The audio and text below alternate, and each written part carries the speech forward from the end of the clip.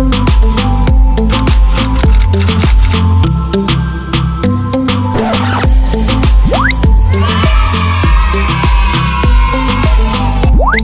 this video lesson, we will be applying the theorems on triangle inequalities.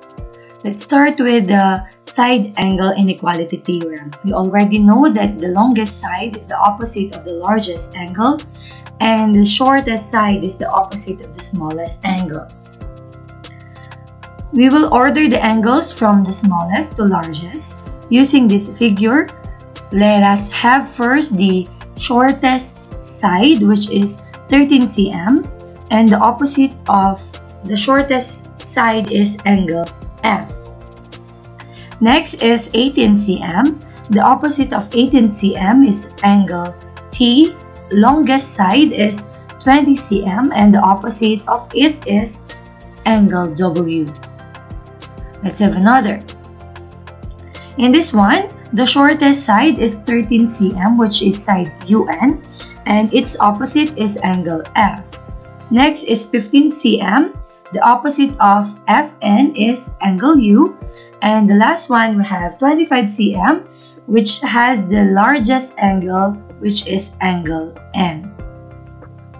Next we have the angle side inequality theorem wherein the largest angle is the opposite of the longest side and the smallest angle is the opposite of the shortest side. We will find the measure of the missing angles to name the shortest and the longest side. In this figure, first we need to find the value of x. In order for us to get the value of x, we need to add all the angles. So we have the measurement of angle A plus the measurement of angle I plus the measurement of angle D is equals to 180 degrees which is the total measurement of the interior angles of a triangle. The measurement of angle A is x plus 15. Angle I is obviously right angle, so this is 90. And angle D is 2x is equals to 180. Next, we will combine like terms. We have x plus 2x, we have 3x. And then the constant, we have 15 plus 90, that is 105 copy equals 180. We will use the left and the right side. We will collect the terms with variable at the left side and the constant in the right side. So let's start with 3x. We will just copy 3x and then let's have positive 105. Since it is at the left side, we need to transpose. It will become negative 105. And then we have 180. So we will just copy. So we will have 3x is equals to negative 105 plus 180 unlike sign minus copy the sign of the bigger number so we have 75 and then in order for us to get the value of x we will divide both side by 3 3x divided by 3 that is x and then we have 75 divided by 3, that is 25. So the value of x here is 25. Now let us find the value of each angle. For the measurement of angle x, we have x plus 15 and we already know that x is 25. So we will just substitute x, it will become 25. The measurement of angle A will become 25 plus 15 and it is 40. Next, we have the measurement of angle D which is 2x. We will substitute the value of x which is 25. The measurement of angle D is 2 times 25 and that is 50. And then obviously we have the measurement of angle I which is 90 degrees. In here, we can already name the shortest and the longest side. Let's start with the shortest side. Look at the angles. Which angle is the smallest? We have the angle A. And the opposite of angle A is side ID. For the longest side, we have 90 and the opposite of 90 is side AD. Let's have another example. Using this figure, we need to find the value of x first, but in here, we need to apply the exterior angle theorem. What does it mean? The exterior angle theorem means if we add the two remote interior angles, we will get the sum as the exterior angles. So if we add the measurement of angle W plus the measurement of angle A, we will get the exterior angle which is 125. The measurement of angle W is x plus the measurement of angle A which is x plus 5 equals 125. Next, we will combine the like terms. We have x plus x that is 2x copy the constant 5 and then copy equals 125. Afterwards, we will use the left and the right side. Let's start with 2x. It is at the correct position, so we will just copy. And then we have positive 5. It should be at the right side, so it will become negative 5. And then we have 125. It is at the correct position, so we will just copy it. And then we will simplify. We have 2x equals negative 5 plus 125 that is unlike sign minus. So we will have 120. Let's continue. 2x is equals to 120. We will divide both sides by 2 to get the value of x. 2x divided by 2 that is x and then 120 divided by 2 that is 60. So the value of x here is 60. We can now solve the measurement of angle W and angle A. For the measurement of angle W, it is x, so angle W is 60.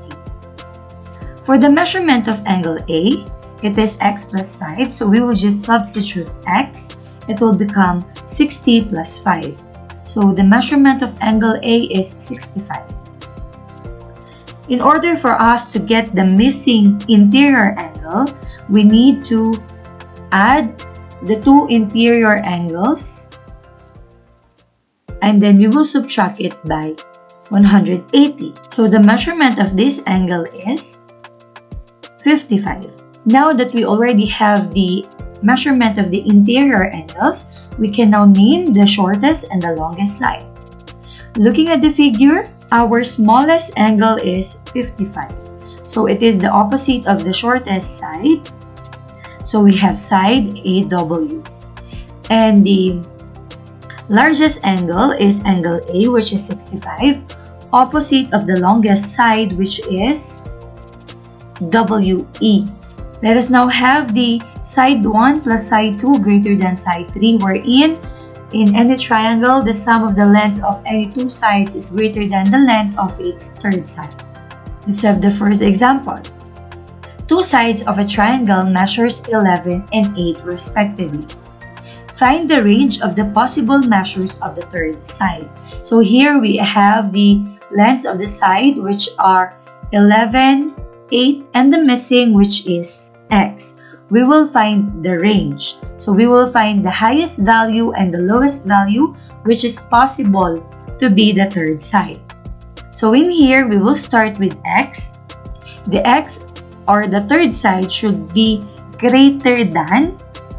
We will subtract the values of the two sides. So we have 11 minus 8 and it should be less than the sum of the given two sides which are 11 and 8. Next, we will just simplify. So we will start at the middle. x is greater than 11 minus 8, that is 3. But it should be less than 11 plus 8, which is 19. So the range of the third side is greater than 3 but less than 19. Let's have the next one. The lengths of RC and CL are 14 cm and 11 cm respectively. What is the range of the values of LR? So LR is our missing third term. So we have the 14 cm for RC, 11 cm for CL, and the missing side is LR. So we will start with LR. The third side should be greater than the difference of the two sides. So we have 14 minus 11, but it should be less than the, the sum of the two sides, which is 14 plus 11. So LR is greater than 14 minus 11, that is 3, but less than 14 plus 11, which is 25. So this is the range of LR. Next, let's have the exterior angle inequality theorem. It states that the measure of an exterior angle of a triangle is greater than the measure of either of the two remote interior angles. We already know where the exterior angle and the two remote interior angles are located. So in this figure, angles less than the measurement of angle 4. Angle 4 is an exterior angle. So what are the angles less than the measurement of angle 4? We have angle 2 and angle 3 because these two angles are its two remote interior angles. Next, what are the angles greater than the measurement of angle 2? So we have angle 2. Angle 2 is interior angle. So we need to find the angles greater than its measurement. So we have angle 4 and angle 5 because angle 4 and angle 5 are both exterior angle and angle 2 is their remote interior angle. Let us have the inequalities in two triangles and how can we apply them. Let's start with the hinge theorem. If two sides of a triangle are congruent to two sides of another, and the included angle of the first is larger than included angle of the second, then the third side of the first triangle is longer than the third side of the second triangle, or this is called as SAS inequality theorem. Let us have the example for hinge theorem. Write an inequality or set of inequalities to describe the possible values of x. Using this figure, we can observe that the two sides which have the different measurement are CA and RE. CA is 16 and RE is 18.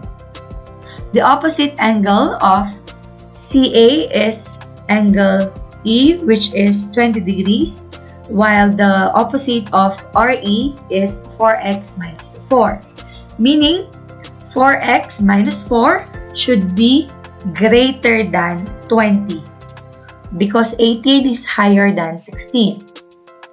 And then we will use the left and the right side. Let's start with 4x.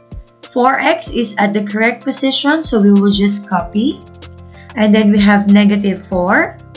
We need to transpose negative 4, so it will become positive 4. And then we have 20. So we will just copy 20 we will copy the inequality symbol greater than. Copy 4x, and then we have 4 plus 20, which is 24, greater than. In order for us to get the value of x, we need to divide both sides by 4. And then we have 4x divided by 4, that is x greater than 24 divided by 4 is 6. So x should be greater than 6. How about the maximum value for x minus 4? Be less than the total measurement of one triangle which is 180 degrees. It should not be exceeding 180 degrees. So we will have the left and the right side. We will start with 4x. 4x is at the correct position, so we will just copy. And then we have negative 4 that will become positive 4 because we will transpose it into the other side and then copy 180. Let's have less than. Copy 4x.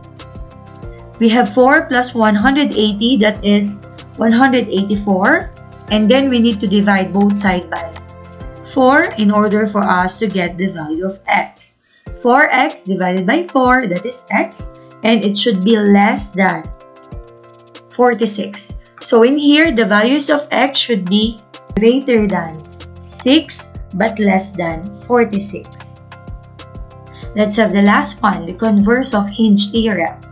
If two sides of a triangle are congruent to two sides of another, and the third side of the first is longer than the third side of the second, then the included angle in the first triangle is greater than the included angle in the second triangle.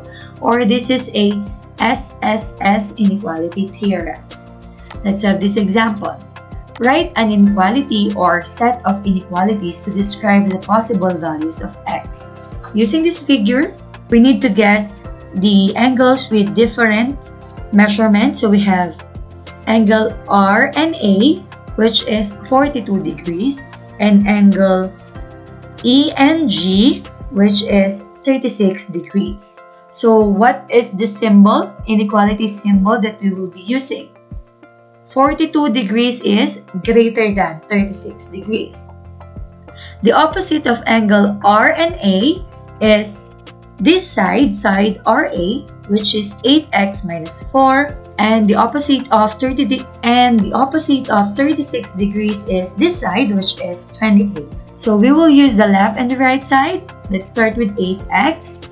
8x should be copied because it is at the correct position. And then let's have negative 4. Negative 4 should be at the right side, so it will become positive 4. And then 28, we need to copy it also. And then copy the inequality symbol greater than. So we have 8x, 4 plus 28, that is 32. So copy the inequality symbol. To get the value of x, we need to divide both sides by 8. So the value of x here is greater than 4. This is only the limit or the inequality of x since we can use unlimited for the side, unlike for the angles.